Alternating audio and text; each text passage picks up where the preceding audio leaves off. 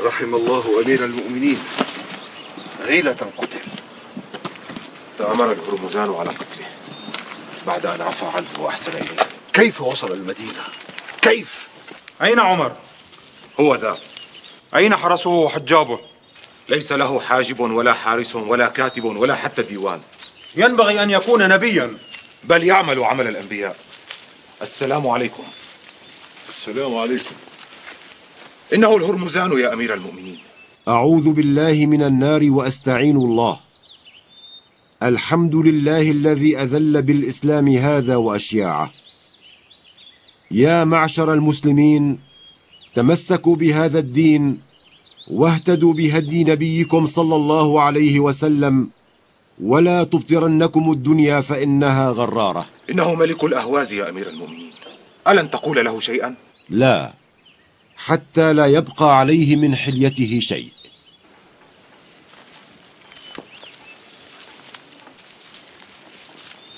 يا أحنف هل أثقلتم عليهم الجزية حتى دفعتموهم إلى نقض عهدهم وقتالهم لنا المرة تلو المرة؟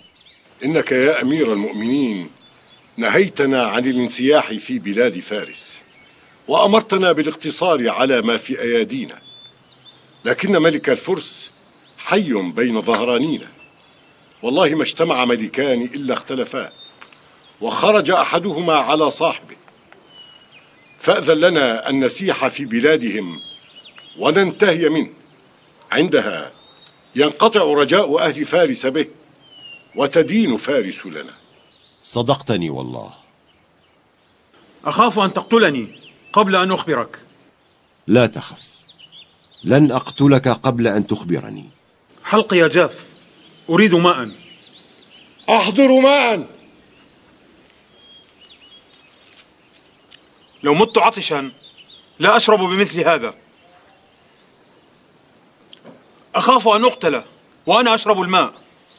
لا بأس عليك حتى تشربها املأوا له قدحا آخر. ولا تجمع عليه القتل والعطش. لا حاجة لي في الماء. إنما أردت بهذا أن أمنح الأمانة وقد أمنتني. كذبت. صدق يا أمير المؤمنين قد أمنت. ويحك. أأنا أؤمن قاتل مجزئة؟ نعم. قلت له لا بأس عليك حتى تخبرني. وقلت كذلك لا بأس عليك حتى تشرب الماء. وهل عفى عنه أمير المؤمنين؟ نعم لكن اشترط عليه أن يسلم. فأعلن إسلامه وأسكنه المدينة وأمر له بألفين من الدراهم. فجازاه عدو الله بالتآمر على قتله. يا مسور دعني مع عثمان وعلي لوحدنا. أمرك يا خالي.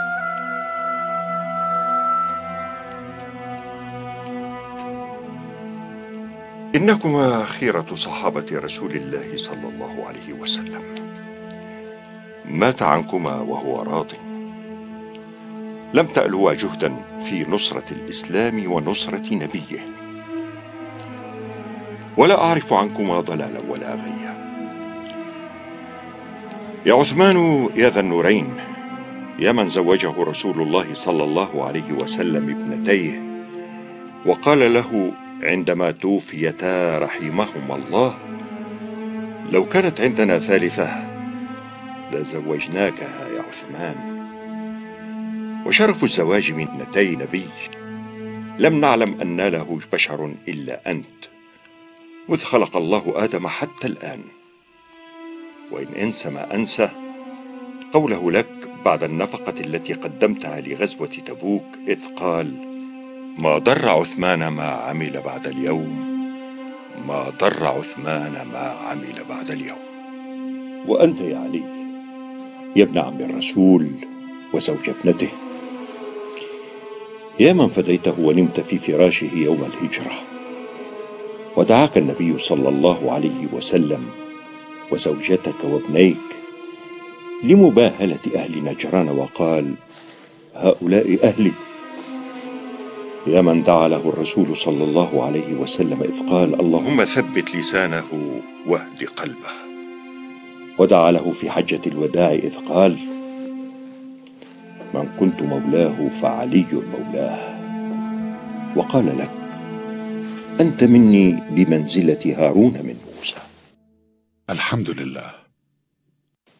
والآن يا عثمان تعاهدني إن وليت لتعدلن وإن ولي عليك علي لتسمعن له وتطيعن. أعاهدك بالله. وأنت يا علي تعاهدني إن وليت لتعدلن وإن ولي عليك عثمان لتسمعن له وتطيعن. أعاهدك بالله. نتوكل على الله. من تظن سيكون أميرا للمؤمنين من بين هؤلاء الستة؟ لا أدري. إنهم جميعا من صحابة رسول الله صلى الله عليه وسلم. مات وهو راض عنهم. ولقد تعاملت معهم عايشتهم.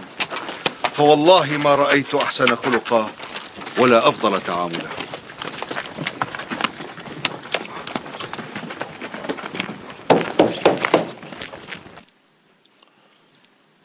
بسم الله الرحمن الرحيم.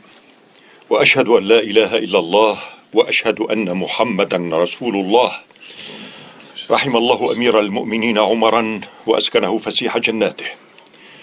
أما بعد فقد قال الله تعالى والذين استجابوا لربهم وأقاموا الصلاة وأمرهم شورى بينهم ومما رزقناهم ينفقون. وقال رسول الله صلى الله عليه وسلم إذا كان أمراؤكم خياركم وأغنياؤكم سمحاءكم وأمركم شورى بينكم فظهر الأرض خير لكم من بطنها. وأحمد الله أن جعل أمرنا شورى بيننا. أيها الناس إني سألتكم في أمرنا هذا سرا وعلانية جمعا وأشتاتا حتى خلصت إلى النساء في خدورهن. وسألت الولدان ومن يرد من الركبان والأعراب المدينة ثلاثة أيام بلياليها. فرأيت أن عامة الناس لا يعدلون بعثمان. يا عثمان هل أنت مبايع على كتاب الله وسنة رسوله صلى الله عليه وسلم وفعل أبي بكر وعمر؟ اللهم نعم. اللهم اسمع واشهد. اللهم اسمع واشهد. اللهم اسمع واشهد. اللهم إني جعلت ما في رقبتي من ذلك في رقبة عثمان. أيها الناس تعالوا فبايعوا أميركم عثمان بن عفان.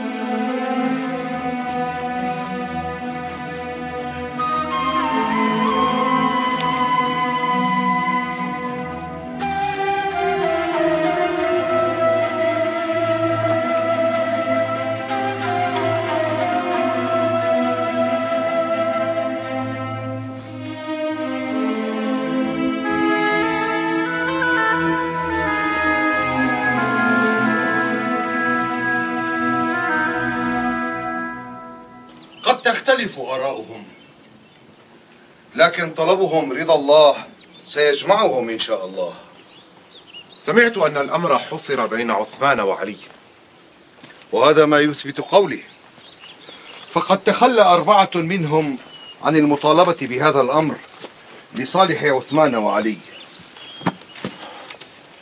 لماذا لم يتخلى أحد هذين الصحابيين عن حقه في الخلافة للآخر؟ إن عبد الرحمن بن عوف سأل عثمان مذ كانوا ستة وقال له ورأيت؟ إن لم أولك بمن تشير عليه. قال بعلي بن أبي طالب. وسأل عليا نفس السؤال فقال علي بعثمان بن عفان. بارك الله فيك. سلمت يداك يا أخي. أيها الناس اسمعوا وصية أمير المؤمنين ابن الخطاب التي أملاها قبل وفاته إلى الخليفة الذي بعده. ثم اركب الحق وخض إليه الغمرات وكن واعظا لنفسك وأناشدك الله إلا ترحمت على جماعة المسلمين فأجللت كبيرهم ورحمت صغيرهم ووقرت عالمهم ولا تضربهم فيذلوا. ولا تحرمهم عطاياهم عند محلها فتفقرهم. ولا تجعل المال دولة بين الأغنياء منهم. ولا تغلق بابك دونهم فيأكل قويهم ضعيفهم. هذه وصيتي إليك وأشهد الله عليك وأقرأ عليك السلام. رحم الله ابن الخطاب. رحم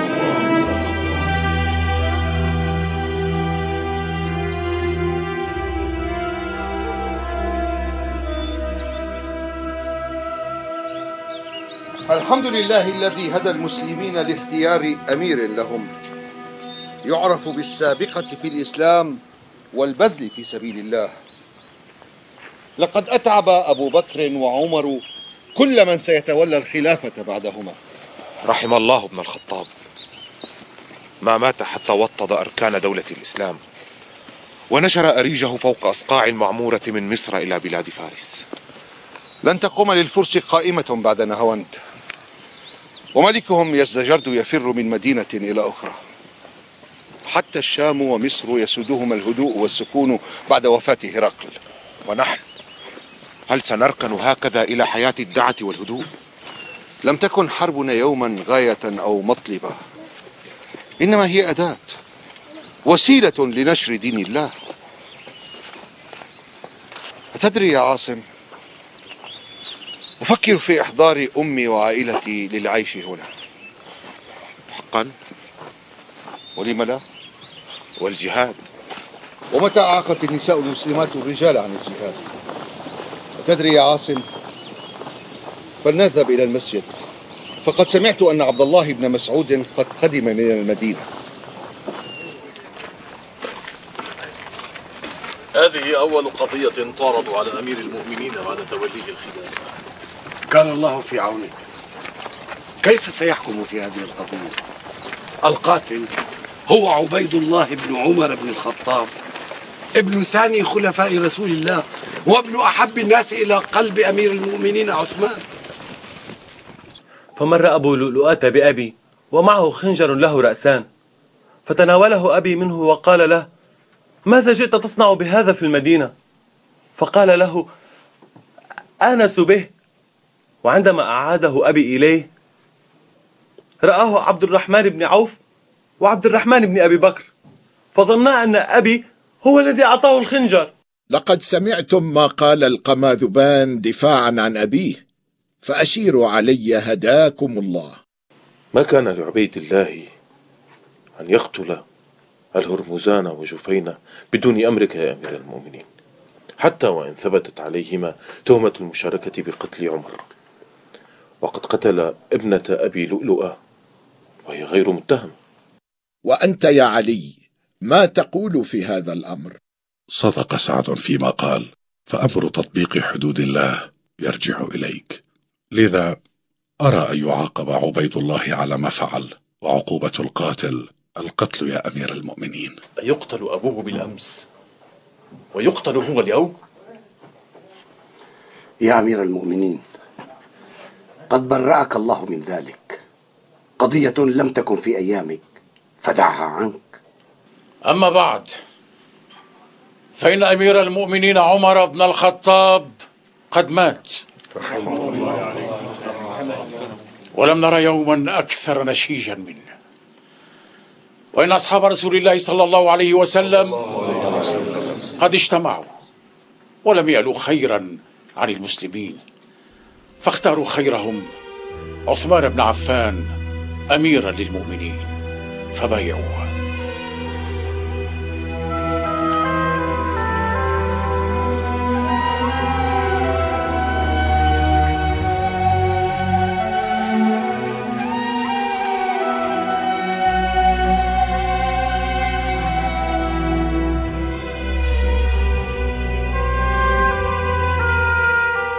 هيهات يا عمرو هيهات. لا مفر من أن نقضي بهذا الأمر. فبما تقضي يا أمير المؤمنين؟ نقضي بشرع الله يا طلحة. أخبروني من أولياء دماء القتلى؟ ابن الهرمزان ولي دم أبيه. أما جفينة وابنة أبي لؤلؤة فليس لهما ولي نعرفه يا أمير المؤمنين. إذا فالأولى أن نبدأ بجفينة والفتاة لأنهما ليس لهما ولي. لكن من سيكون وليهما؟ أنت يا أمير المؤمنين فأنت صاحب الأمر وأنت ولي من لا ولي له. حسنا حسنا. تعلمون أن لولي أمر القتيل في شرع الله أن يعفو عن القاتل ابتداء دون طلب دية وأجره على الله. نعلم ذلك والله. ولولي الدم أن يقبل الدية بدل الدم. وله أن يطلب القصاص. له ذلك أيضا يا أمير المؤمنين. اذا بما أني ولي دم جفينة وابنة أبي لؤلؤة فإني أطالب عبيد الله بديتهما. خيرا فعلت يا أمير المؤمنين. أما فيما يخص أمر الهرمزان فابنه هو ولي دم أبيه القتيل. صدقت يا أمير المؤمنين. هذا حكم الله. يا ابن الهرمزان عبيد الله قاتل أبيك وأنت أولى به منا. خذه فاقتله إن شئت. لم يتجاوز حكمك شرع الله. أليس كذلك يا علي؟ أصبت يا أمير المؤمنين.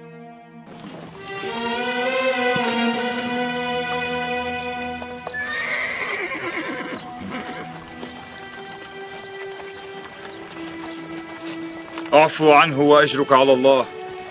إنه ابن أمير المؤمنين. فقد آباه كما فقدت آباك. أيها الناس تعلمون أن إلي قتله وإلي العفو عنه. كما حكم بذلك أمير المؤمنين. أليس كذلك؟ بلى. بلى. هل تقدرون على منعي؟ لا. لا.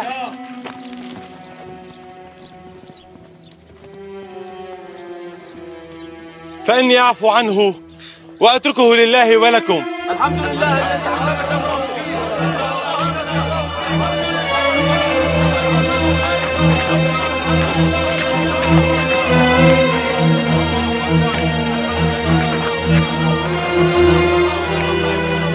يا يرفع خذ من مال يدية الهرمزان ادفعها إلى ابنه تطيبا لخاطره. لله در أمير المؤمنين ما أكبر قلبه وأوسع رحمته.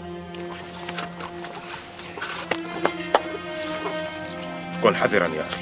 إن شاء الله.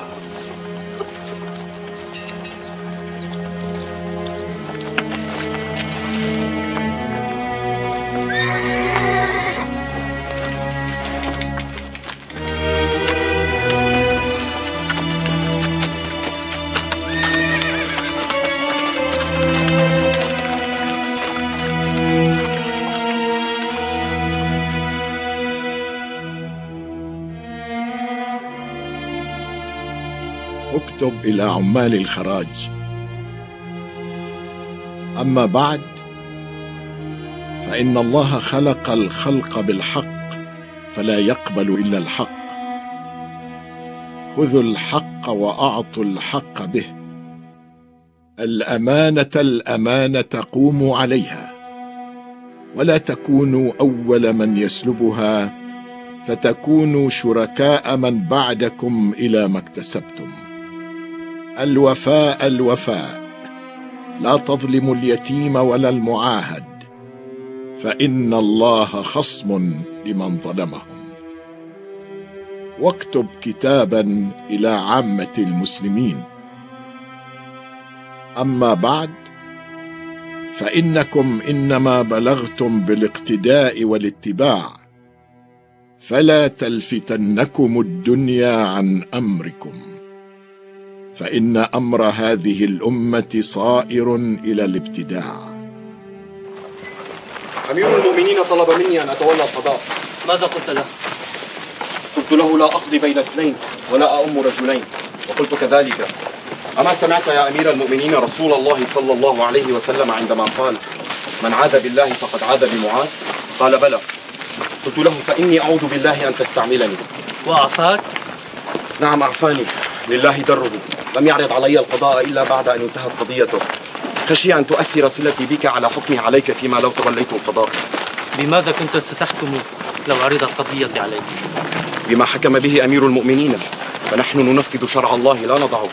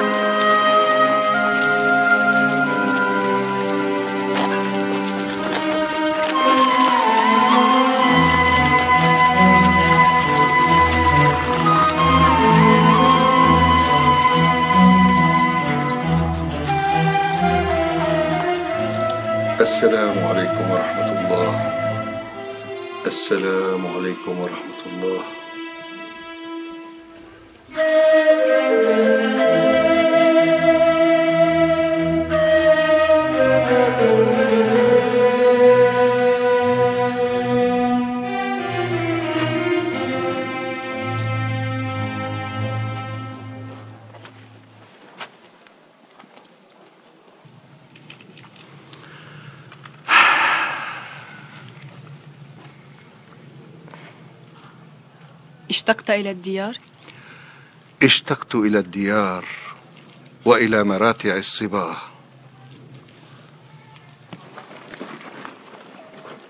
ومن سكن الديار. كان قلبي يرتجف خوفا وهلعا عليك كلما سمعت عن معركة حدثت أو قتلا سقطوا. كنت أدعو للمولى كي يحميك ويعيدك إلي سالمة. لا أخفيك. طالما شعرت بالفخر والعزة وأنا أسمع صدى بطولاتك تتناقلها الركبان. قبل أن يمن علي الله بنعمة الإسلام كنت أقاتل لمجد قومي ومجدي أنا كغيري من الناس. أما بعد أن صحبت رسول الله صلى الله عليه وسلم فأنا أجاهد في سبيل الله لإعلاء كلمته. أسماء ثواب الناس زائل وثواب الله دائم.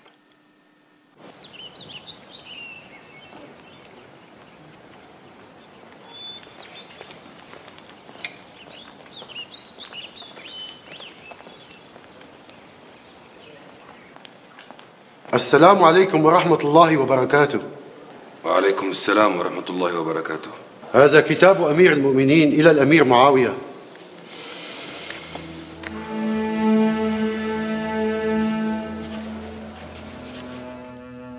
أما بعد فيا ولاة الأمصار اعلموا أن الله أمر الأئمة أن يكونوا رعاة ولم يتقدم إليهم أن يكونوا جباة وإن صدر هذه الأمة خلقوا رعاة ولم يخلقوا جباة وليوشكن أئمتكم أن يصيروا جباة ولا يكونوا رعاة. فإذا عادوا كذلك انقطع الحياء والأمانة والوفاء.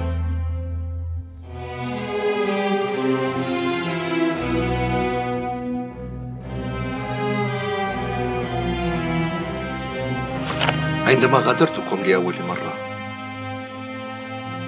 كنت أجهل ما ينتظرني. فقد خرجت للجهاد في سبيل الله. أما الآن فالسلام والهدوء يسودان أرض الإسلام. والكوفة جميلة وسوف نقطنها جميعا. جميعا؟ أجل يا أسماء جميعا.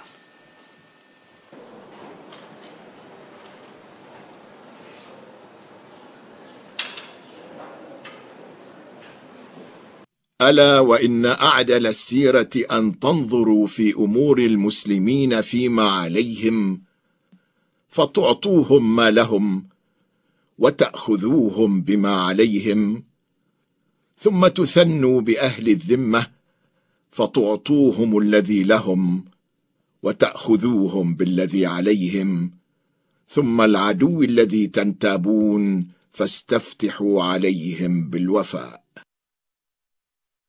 لأمير المؤمنين السمع والطاعة.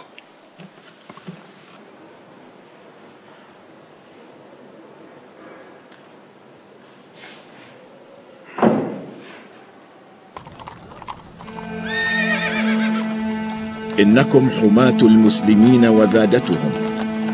وقد وضع لكم عمر ما لم يغب عنا بل كان على ملأ منا.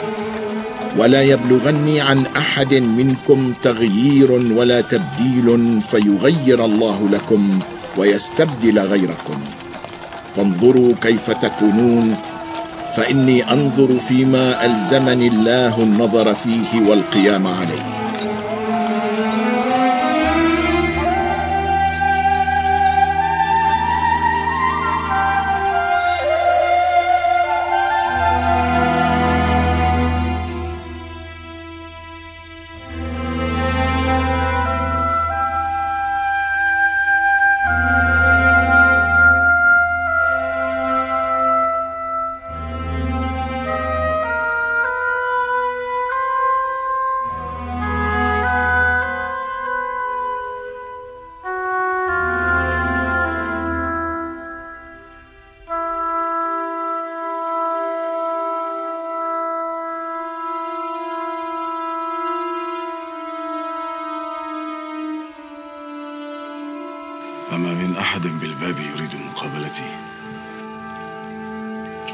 لا يا مولاي.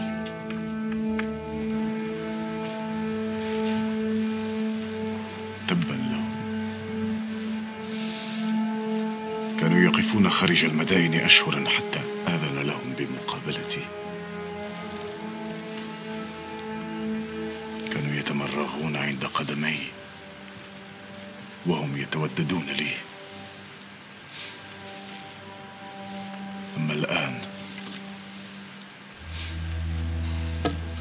الآن يتجاهلونني ولا يردون على رسائلي.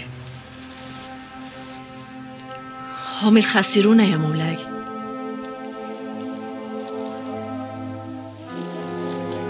نعم. هم الخاسرون.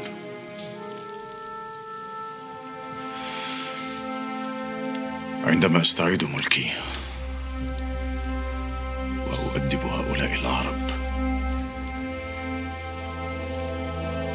سيعود الجميع إلى التمسح ببساطي وتقبيل قدمي لم تنتهي الحرب بعد. بأربعة آلاف جندي سأستعيد عرشي ومملكتي بأربعة آلاف فقط.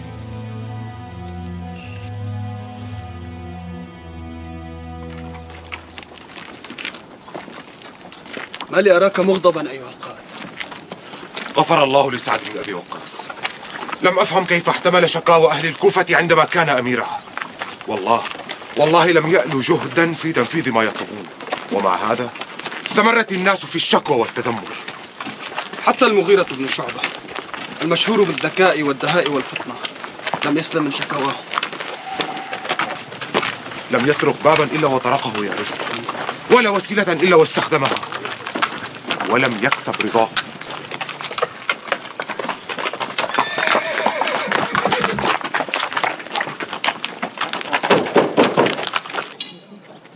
أمير المؤمنين ينتظرك فلقد استشارني في توليتك الكوفة. فقلت إنك أهل لها. لا يا أبا محمد. ليست لدي رغبة في الولاية أو الإمارة. فقد نلت منها ما يكفيني. إن كانت خيرا فقد نلت منها. وإن كانت شرا فقد كفاني الله عنها. إنها رد اعتبار لك. وعليك قبولها.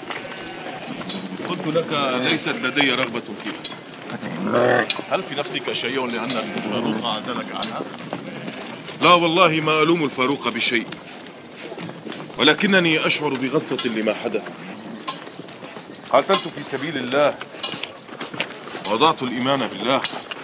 ومصلحة المسلمين. نصب عيني.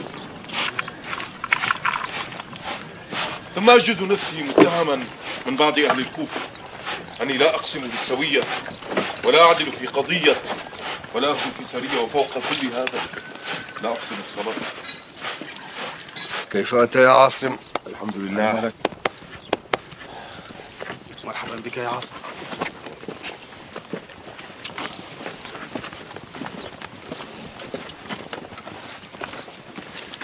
حمدا لله على سلامتك يا أمة.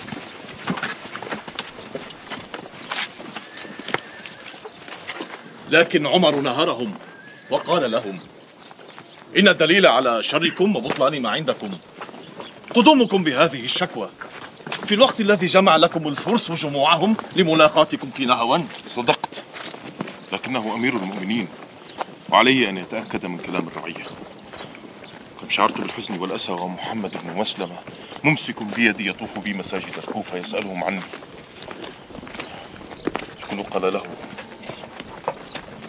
والله لا نعلم عنه إلا خيرا ولا نشتهي به بدرا إلا أسامة بن قتادة هو الذي ظلمني وافترى علي. سمعت من بعض أهل الكوفة أن أسامة هذا أعماه الله وصار يتعرض للنساء في السكك. فإذا عتب قال إنما أنا مفتون. أصابتني دعوة سعد بن أبي وقاص الرجل المبارك. ماذا تقول؟ الحمد لله الحمد لله الذي كشف زيف ادعائه وجزاه. رحم الله أمير المؤمنين عمر. كان موقنا من براءتك وزيف ادعاءاتهم. حتى إنه قال وهو على فراش الموت والله ما عزلت سعدا عن عجز أو خيانة. وأوصي الخليفة بعدي أن يستعمله. الحمد لله الحمد لله الحمد لله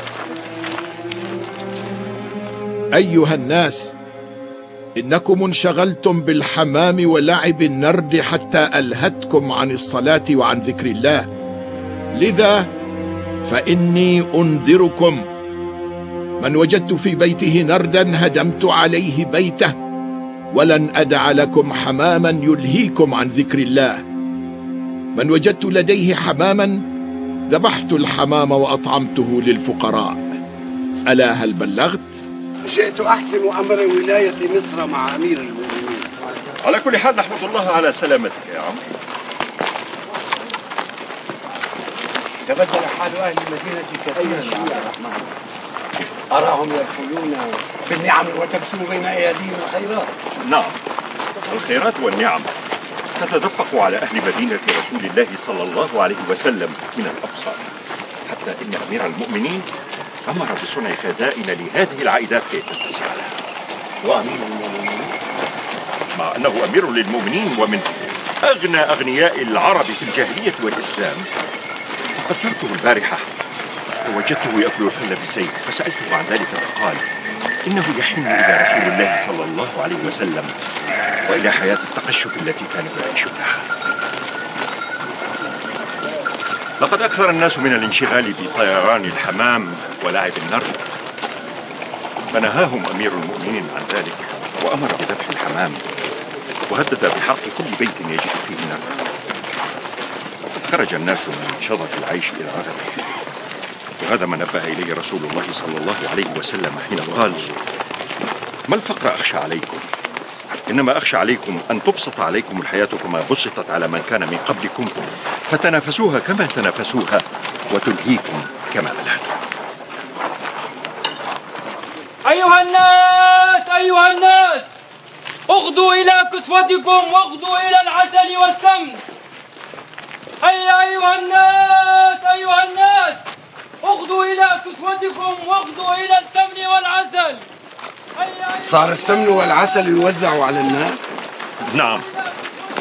ما ينتهي المنادي من دعوة الناس إلى السمن والعسل حتى يدعوهم إلى أخذ نصيبهم من بيت المال أو ليوزع عليهم الكسوة.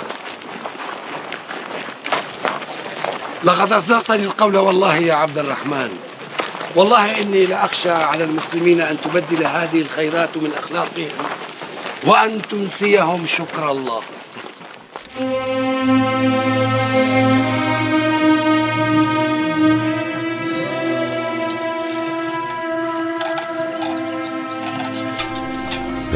أهل الكوفة لأني لا أحسن الصلاة ويوليني أمير المؤمنين على الصلاة والجند في الكوفة. جزاه الله عني كل اللهم لا تؤاخذني بما يقولون. اغفر لي ما لا يعلمون. واجعلني خيرا مما يظنون.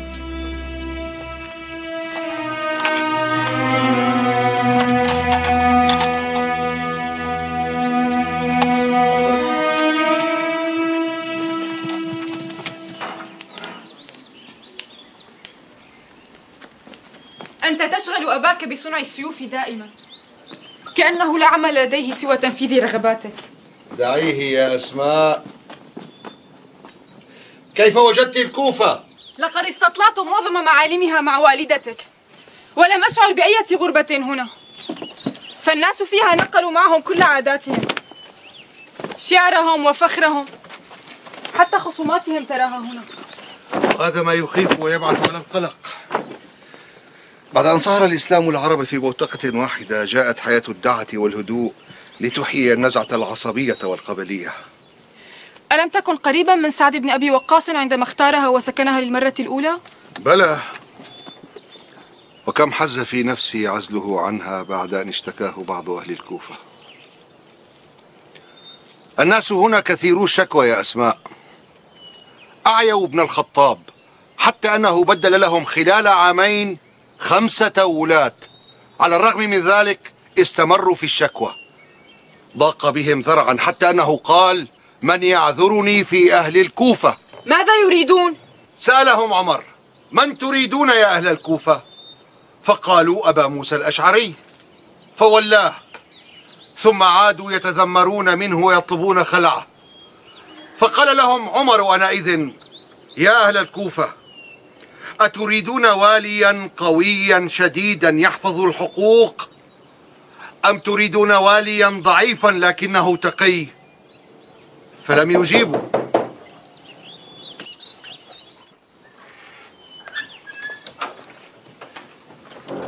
السلام عليكم. وعليكم السلام ورحمة الله وبركاته. كيف أنت يا مطر؟ بخير الحمد لله. بارك الله فيك يا ولدي. تقبل أولادك. وما الغريب في الأمر؟ العطف والحنان من أوجه الضعف والخذلان. لا يجدر بالفارس التحلي بهما. يا مطر الليث يعطف على شبله؟ فهل يعرف عن الليث الضعف؟ اسمع. أتى رسول الله صلى الله عليه وسلم ناس من الأعراب فقال له رجل منهم يا رسول الله أتقبلون الصبيان؟ فوالله ما نقبلهم. فقال له رسول الله صلى الله عليه وسلم صلى الله عليه وسلم. أو أملك إن كان الله عز وجل قد نزع الرحمة من قلبك؟ أسأل الله إذن أن لا ينزع الرحمة من قلبي أبدا. لقد أرسل ابن الخطاب يوم كان أميرا للمؤمنين أحدهم ليوليه فلما دخل ذلك الرجل على عمر وجده يقبل أحد أبنائه. فاستغرب ذلك الرجل كما استغربت أنت. وشعر ابن الخطاب أن الرحمة قد نزعت من قلب ذلك الرجل. فقال له والله والله لا تلي لي عملا أبدا. حسنا. سأجبر نفسي على الرحمة حتى تكون الرحمة خلقي إن شاء الله. اعذرني اعذرني يا ابن العم فلقد نسيت سبب قدومي وفيما قدومك؟ أخوك عاصم ينتظرك في دار ابن مسعود كي تذهبوا سوية لاستقبال والي الكوفة الجديد والي الكوفة الجديد؟ من؟